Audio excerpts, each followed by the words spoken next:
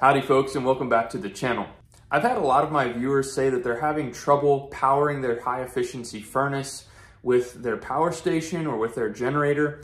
And I'm gonna show you a sweet little trick that involves basically a $10 item that should be able to get you to power your furnace with your power station or your generator if maybe it doesn't have a pure sine wave or maybe if it just doesn't have a proper ground. So let's get right into it.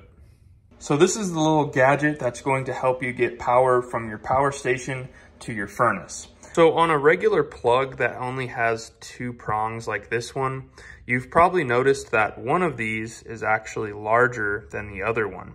Now this larger one is the neutral because of the lack of the ground prong. Now when you plug this in, it automatically associates this with the hot side and left with neutral. Whereas when you have two uh, prongs like this, if you try and plug it into where neutral is on the right side, it simply will not go and you have to go this way. That being said, this is our neutral and this is our hot. And all this plug does is it takes this ground and inside this connection, it just connects this ground prong with this neutral, essentially just bonding the ground and the neutral. Now, if we notice on our power station for the outlets, this right here is going to be our power. That's going to be our neutral.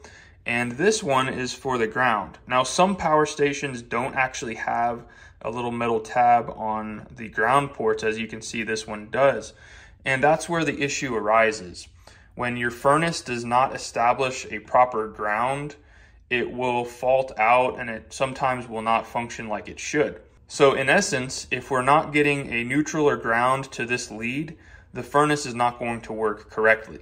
So basically it's as easy as plugging this into one of the outlets on your power station and then plugging in your furnace at another one of these. And this is going to bond all of the grounds and neutrals together. So you'll simply have a hot and a neutral or ground. Well, hopefully this little gadget will help you in a time that you need it most. Uh, don't wait to purchase this at the last minute. If it's something that you think you'll need, go ahead and pick it up. It's in the link in the video description. Keep it in your junk drawer and you'll be ready in the event of an emergency.